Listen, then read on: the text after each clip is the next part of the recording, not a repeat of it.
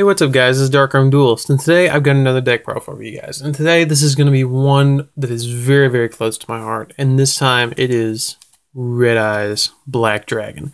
But first off, before I get into the deck, I want to go ahead and say thank you to everybody at Top Games in Gardendale for helping me build this deck. Without you guys' help, this deck would not be up on my channel right now. I want to say thank you to everybody who traded me cards, helped me out. I got down to my last two cards I needed, and some guy just helped me out threw the cards to me and said, you know, man, you're trying to finish the deck. You know, here you go. Here you go. You're two cards away. Take them. You need them. Here you go.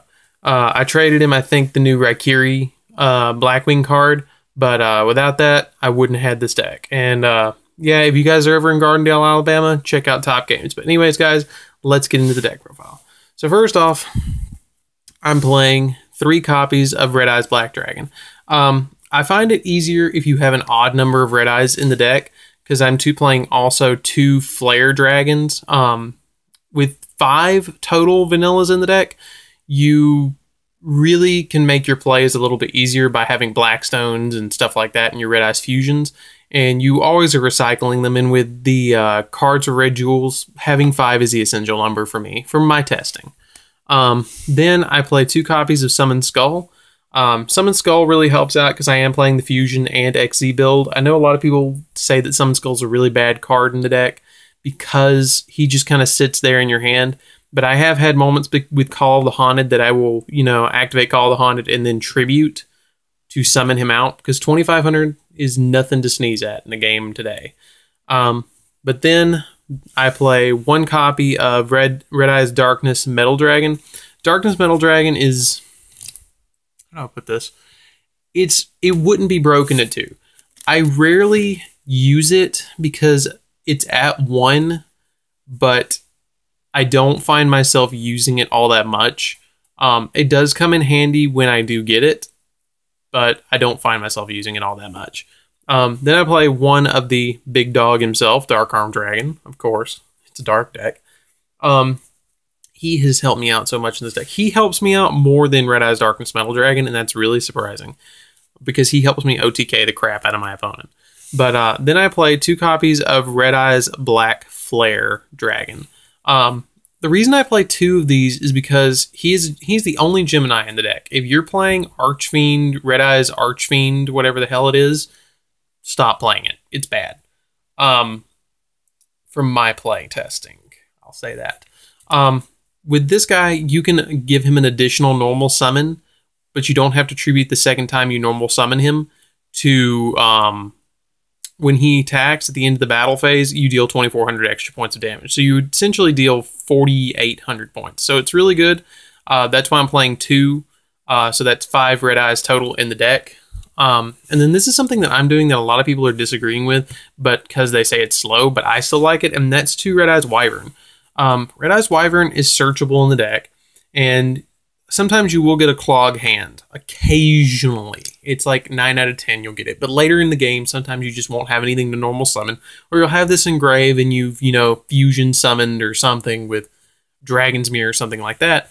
So you'll have this engrave, and it lets you special summon a Red Eyes monster from your graveyard by banishing this. If you didn't normal summon the turn that you did, it's a little slow, but it's a it's a very good backup contingency plan.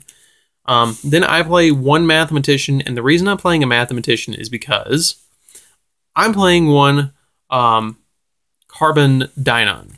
I think that's how you say it. Carbon Dyna.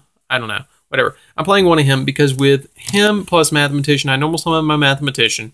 I either send a Blackstone, but if I've already got my Blackstone lined up, I send this to grave.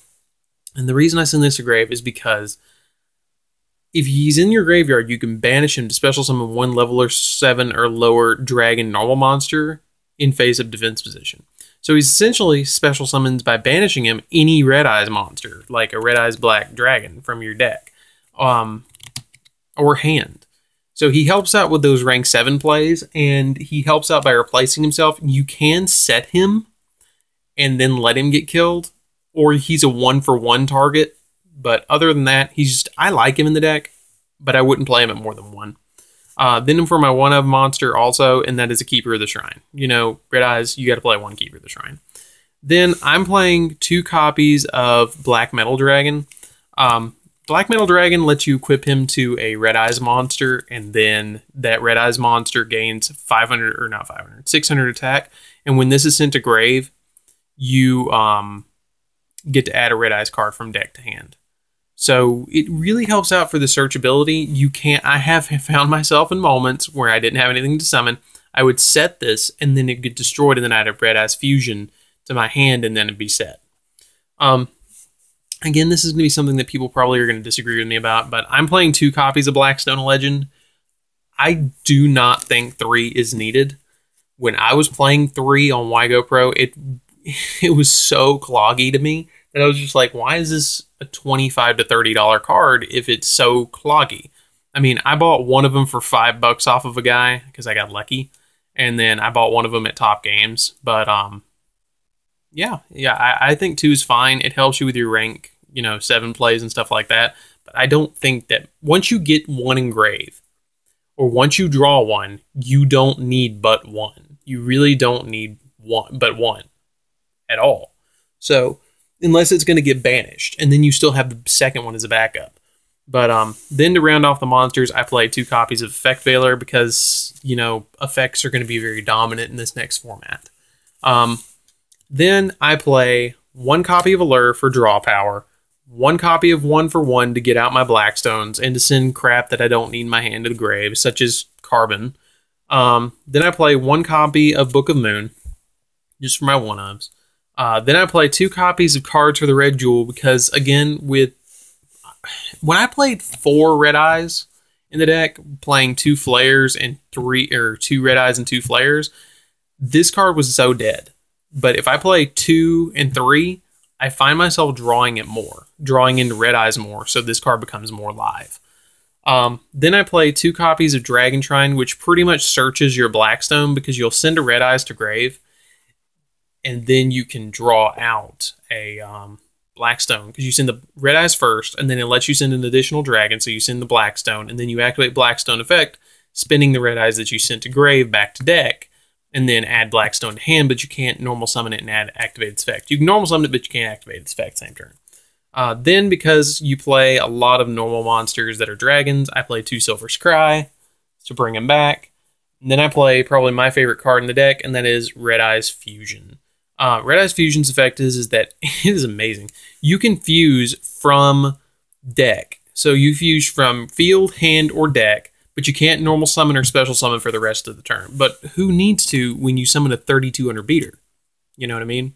You fusion summon from hand or deck, and you special summon a Red Eyes, something that lists Red Eyes as a fusion material. So, um, then I play one copy of Dragon's Mirror just in case I use this, and the next turn it gets killed, and then I Dragon's Mirror another one. So, whatever. Uh, then I play for my one of traps a Compulse, a Bottomless, torrential, vanities, and then three cards that I'm gonna lay down, and you guys are gonna be like, "Huh, I never thought about that," but that's kind of interesting. Red Eyes has to sneeze. Red Eyes has to sneeze, and he's sick.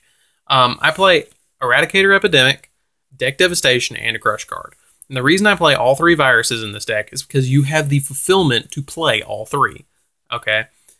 This card is the MVP out of the three viruses this is going to be amazing against Majespecters. This is fun against any other deck that's just any deck. Um, sometimes it will backfire, but most of the time it doesn't. Um, because if you have Flare Metal on board and you activate this and they send three cards to grave that activate effects, they just lost 1500 life points on top of losing all their monsters. So, yeah, GG. Um, then, that, I mean, that's why I'm playing this. I find it very a control aspect where my Blue Eyes Heretics don't control as much; they just pound for game. And this deck controls a little bit more and controls the game a little bit better. Um, and then I was playing three Call of the Haunteds, but I dropped it down to two for the um, deck devastation. So yeah, that's pretty much what I'm playing. It's actually a 42 card Red Eyes deck. Um, I used to be really scared of playing decks that were higher than 40, but um, because I thought they were going to be inconsistent, but I don't really care anymore. I play 41, 42, you know, sometimes the most I play 42. But um yeah, let's get into the extra deck guys. So first off, I'm playing two copies of Red Eyes Flare Metal Dragon and this guy plus Archfiend Black Skull Dragon is probably the best two cards in the entire extra deck. Um, this card is like a Beelze and a Cybernova Dragon had sex and made this. Okay, so it has three effects. When it has XZ materials, it cannot be destroyed by card effects. Okay, so that's the Beelze. Kind of reminds you of Beelze.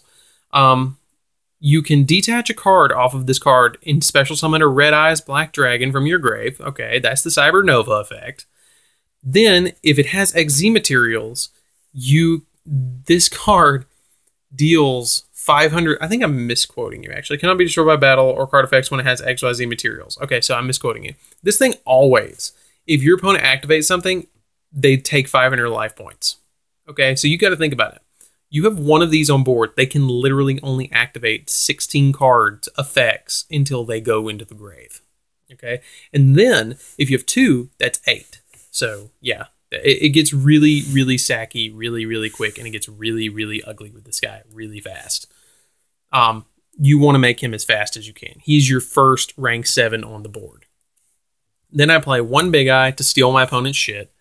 And then I play two copies of Mech Phantom Beast Dracossack because I have them, and occasionally you do need the little bit more protection and maybe need to pop something.